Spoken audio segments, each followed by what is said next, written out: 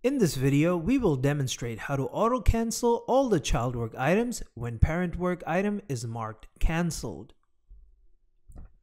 As you can see that we have the work item opened and it is in an open state. Click on the Links tab. You will see that this work item has three child work items. Click on the links to open the child work item. Open all the child work items one by one and verify the states.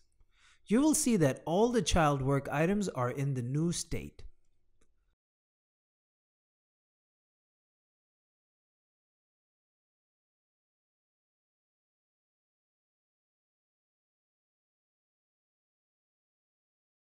Now click on the parent work item and change the state from open to cancel and click on save.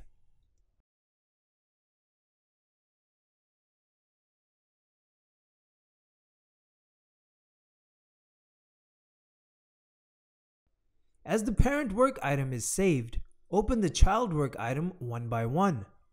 You will see the refresh link on all the child work items. As you refresh the child work item, the state will change to cancel.